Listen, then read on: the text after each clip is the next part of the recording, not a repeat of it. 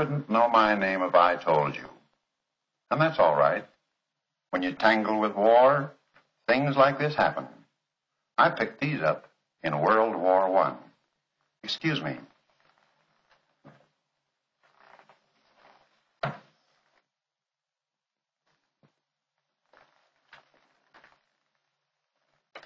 More and more, the so-called physically handicapped are returning to civilian life.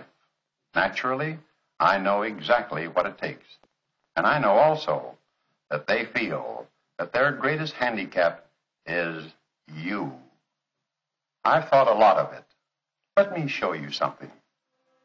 Remember when you lost your baby teeth? Isn't she cute? Of course, her teeth will grow in again. But for a while, she's going to have trouble eating an ear of corn. Grown-ups lose their teeth, too.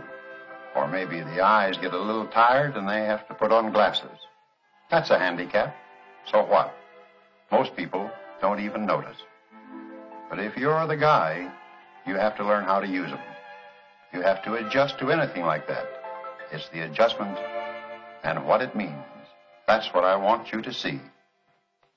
If you'd lost a leg or an arm, you were an amputee at one of the government hospitals, you'd know what it means to lose something. You'd stand there, a little apart, just looking at nothing. And you'd wonder just how much you'd lost. You can't stop thinking. So you keep looking at nothing, thinking. Men with handicaps do get places. There's a movie star with a hand gone, another with an artificial leg. There was a fighter pilot in England, remember? And one of the world's greatest pilots and aeronautical engineers has two artificial legs. People with physical handicaps run banks, play baseball, get to be state governor, even president of the United States. It's being done every day. The first thing is to overcome your own handicap, to develop some new faculties. They say a man's worth 50 cents an hour from the neck down. But he's worth a lot more than that, depending on what he does from the neck up. Here's Jimmy Farrar at the drawing board to prove how true this is. A Jap hand grenade blew up in his hands. Here's Joe Miller, both legs gone above the knees. He'd just as soon go skiing or hike as drive a car.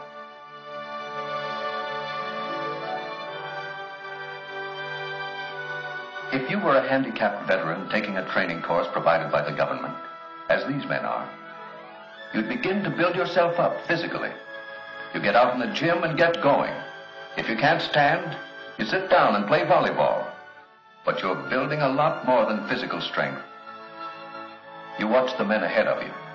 Men like Jimmy Morgan finding he can still punch that bag around as he tries out a brand new pair of legs. They're going to be all right. You think handicapped men can't dive and swim? How many people do you know who can swim a better crawl than that? There's Captain Bray doing the backstroke. No hands. No flags, no bands, no combat stars are given here. But you're watching a battle being fought and won. This is the first time these men have seen themselves with their new legs. They're a little awkward naturally. Takes time and practice. Lots of practice. Practice walking up and down slopes. Practice walking over every kind of obstacle until they can go anywhere safely. You'll be thoroughly tested before you leave. Incidentally, you'll find yourself developing a keen sense of danger. You learn to sense a hazard or an accident coming a mile away and avoid it.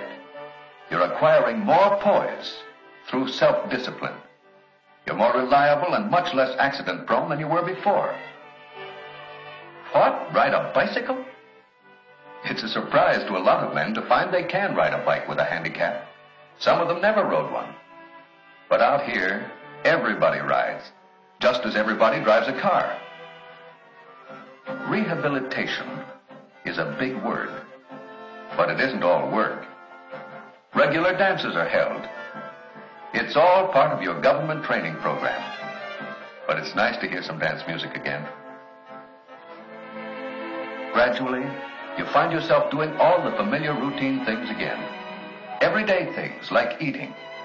It's a problem at first, but later you don't give it a thought. You learn to handle a knife and fork, and at the same time you may be taking up an old profession. Photography, for instance. Just working around the lab may start a new career or strengthen an old one. You've already been told that everybody drives out here, but a command car, that's about like driving a truck. That's tough. Or is it? Well, it's not so bad at that. Everybody does it, just another part of the training. And the command car, like the car you'll drive, isn't different or specially equipped in any way. It couldn't be, and still let you get your driving certificate.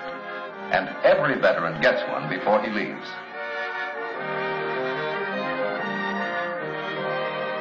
Standard cars, no gadgets. And here's the reward. He's getting his driving certificate. Quite a crowd gathers to watch the big moment. Every one of those men on horseback is handicapped, but that's no reason why they shouldn't ride a horse.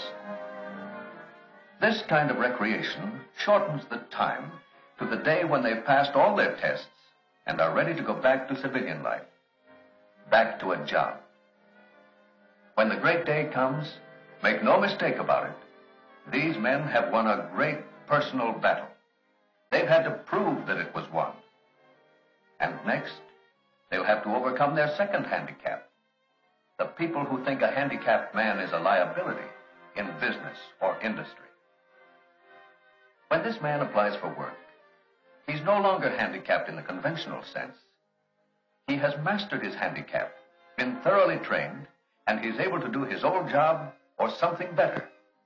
In many ways, he's a more purposeful, a better man than he was before. No help wanted.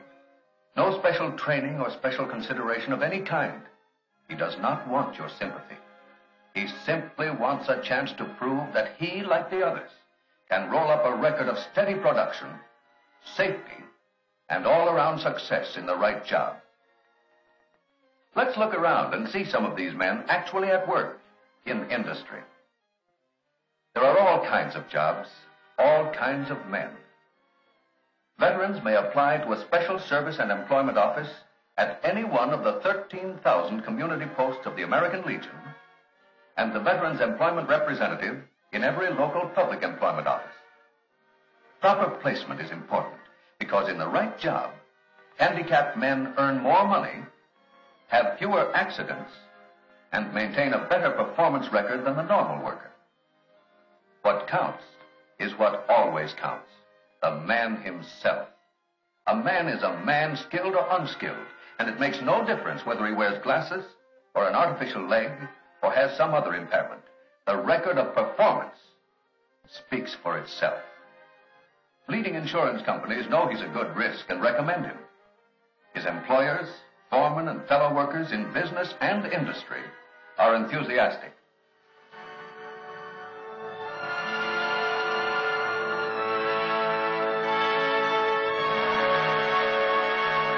One thing more, and you need only your heart to help you understand.